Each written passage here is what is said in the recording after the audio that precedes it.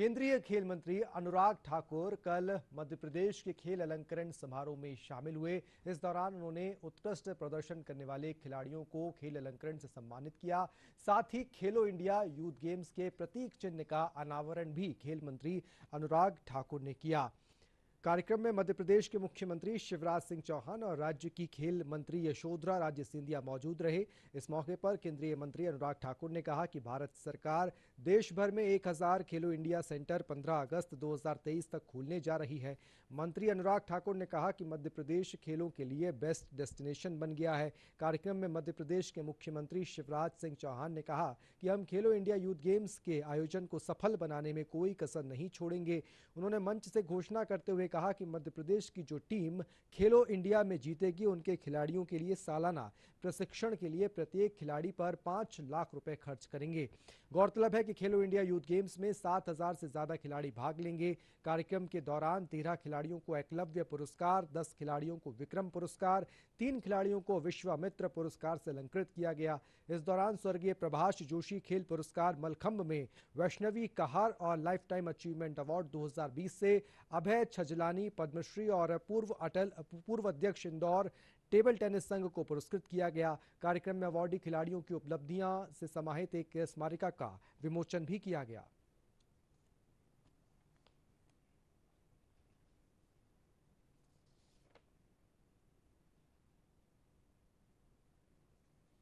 मैं कह सकता हूँ, दो दशकों में एक बहुत बड़ा बदलाव खेलों के क्षेत्र में आया। यशोधरा जी ने ठीक कहा 2004 में केवल खेलों के क्षेत्र में ही नहीं, वैसे भी मध्य प्रदेश को बीमारू राज्य कहा जाता था। लेकिन उसके बाद जो अन्य क्षेत्रों में बदलाव देखने को मिला, मैं कह सकता हूँ बाकी क्षेत्रों में शिवराज जी आपने जो किया, सो किया। खेलों में जो आपने किया है, उसके लिए मैं आपका बहुत बहुत आभार प्रकट करता हूँ। Shooting range. जो यहाँ पे 50 मीटर 25 मीटर 10 मीटर की जो एकेडमी बनी जो कैंपस बना है, वो केवल राज्य का ही नहीं, देश का सबसे खूबसूरत शूटिंग रेंज यहाँ पर बना एक्वेस्टेरियन जिसको घुड़सवारी आप कह लीजिए, घोड़ों से जुड़ा हुआ खेल, बहुत कम राज्यों में बहुत कम एसोसिएशन देखने को मिलती है। लेकिन 30 एकड़ का एक पूरा कैंपस बढ़िया नस्ल के घोड़ों के साथ शुरू करना। और वहाँ पे अभी कल परसों शायद आपका एक चैंपियनशिप खत्म हुई। वहाँ पे भी सारे मेडलिस्ट देखने को मिले। मैं कह सकता हूँ one of the finest centre of the equestrian किसी राज्य ने बनाया। खेलों में मध्य प्रदेश इसलिए आगे बढ़े। मैं तो आश्चर्यचकित रह जाता हूँ जब बच्चों को खेलते हुए उनके चेहरे पर खुशी देखता हूँ। अभी मेरी कॉन्स्टेंसी में कार्यक्रम हुआ। पंद्रह हज़ार बच्चे थे, कमल भी कार्यक्रम करवा के आ रहे बच्चों की जो प्रसन्नता उनके चेहरे पे देखते हैं, खेलते समय, वो अद्भुत होती है। और मैं मानता हूँ सचमुच में खेल ज़िंदगी का अहम अंग है। और सही बात यह है कि ज़िंदगी भी तो खेल ही है, देव ज़िंदगी भी खेल है।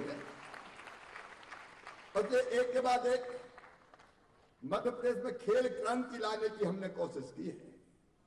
हम ये खेल तो बेहतर करेंगे ही। मैं अपने सभी बेटे बेटियों को विश्वास दिलाना चाहता हूँ। आज वो माँ आई थी, विवेक सागर की, हमारी बहन।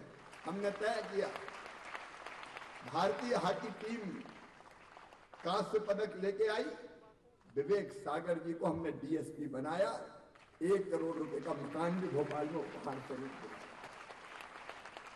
हमारे जो बच्चे खेलों में बेहतर प्रदर्शन करते हैं, हमने तय किया है कि 10 खिलाड़ियों को सब इंस्पेक्टर और 50 खिलाड़ियों को आरक्षक के पद पर भी नियुक्त करेंगे, लेकिन इसके साथ साथ अब हम ये भी तय कर रहे हैं कि हम जो ओलंपिक में, एशियन गेम्स में पदक लेके आएँगे, उनको डीएसपी और डिप्टी कलेक्टर के पद पर भी नियुक्त करेंगे।